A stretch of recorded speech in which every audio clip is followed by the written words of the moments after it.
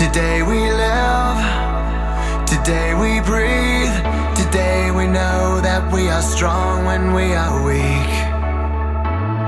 Today we trust, we overcome, take every chain that kept us slaves and throw them off. We're not waiting for permission, we defy our inhibition.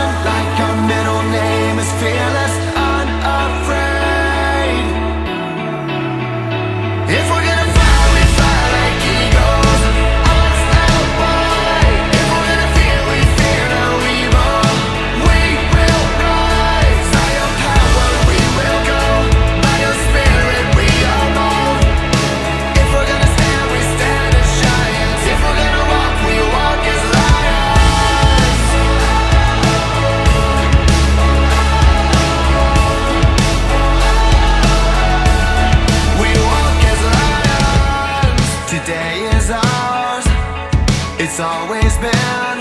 Before we face the fight we know